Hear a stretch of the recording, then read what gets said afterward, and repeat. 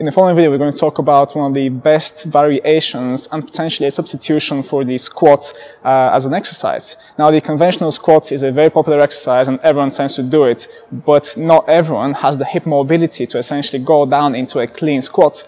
What happens most of the time is that people tend to arch their backs too much because they don't really have the movement coming from the hip joint. If you are one of these people, then you must essentially look at substitution exercises. Uh, and when it comes to substitution or even exercises that are actually better, there is none better than the actual Bulgarian split squat exercise. I've already gone over some of the common errors of the Bulgarian split squat as an exercise in previous videos, but I'm just going to quickly remind you of what those are. So basically, uh, this is what it looks like as an exercise. Obviously, you want to make sure that you're not too far away from the bench or whatever you you're using to do the split squat because if you are, then you'll be stretching your hip flexors too much. You don't really want to do that. So I tend to just come a bit closer in. I make sure that my toes are pointing straight forward because if they're not, then my knee is going to collapse inwards, which is something I don't really want. So when I go down, sometimes this happens and the knee essentially, there's a lot of pressure onto the medial ligaments here, which is something I don't really want. Okay. So the best thing to do is make sure that there's a straight line ahead.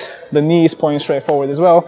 And now from here, making sure that you've got a straight line with your chest as well, you go straight down into a downwards angle. So you don't really want to push forward because if you push forward, the heel comes off the floor, which is uh, obviously a bad thing as well, because if you do that, you put first of all a lot of pressure on your quads, you take the pressure off your glutes, uh, and then it turns into a completely different exercise. Because looking from this angle, again, as you can see, I make sure that my knee is straight forward as I come down into that split squat uh, movement. My hips are pointing straight forward and my chest are pointing straight forward.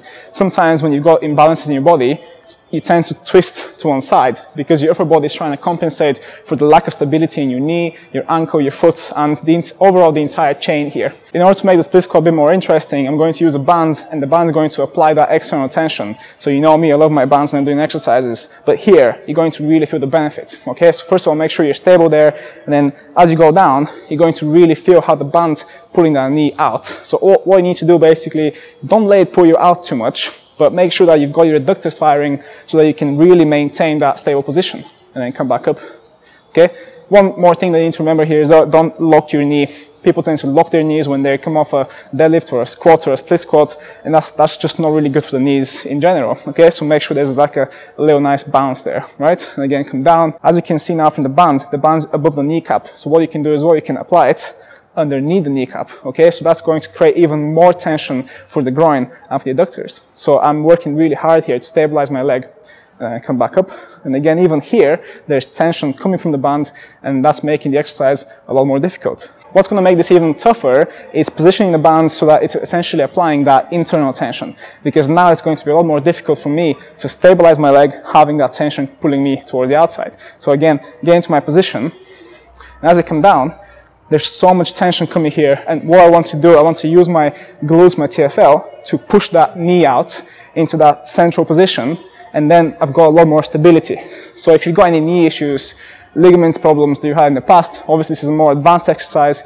You want to make sure that you are implementing this exercise into your routine because it's going to make things a lot more challenging uh, and it's really going to challenge your glutes, your adductors, your knee joint overall. And again, playing around with the band position, I've got the barbell and the band combined. So to be honest with you, like from this point onwards, it all depends on your imagination and your creativity when it comes to exercises, because you can really push yourself using the different types of resistances. So like I said, I've got the barbell on my shoulders, but I've also got the band pulling me out, which is amazing. And then of course, change the position of the band, which is going to make things even more difficult. So come down, I've got that weight here and I've got the resistance there. So what more can you want when you're looking at exercises that challenge both strength, stability, proprioception, and everything that you need basically. So this is going to make you a better athlete. If you know an athlete, it's just going to make you a better human being overall.